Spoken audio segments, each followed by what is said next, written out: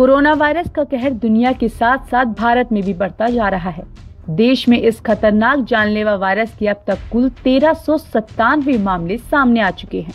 Covid 19 के खतरे को देखते हुए 21 दिनों का लॉकडाउन घोषित किया गया। पूरे देश में कोरोना वायरस से मरने वालों की संख्या 35 हो गई है और इससे ठीक होने वालों का आंकड़ा भी 123 हो गया है। महाराष्ट्र और केरल में लगातार मामले तेज़ी से बढ़ते जा रहे हैं। मुंबई में 16 नए केस तो पुणे में दो नए मामलों की पुष्टि हुई है। आइए जानिए आपके राज्य में क्या है कोरोना वायरस के आंकड़े।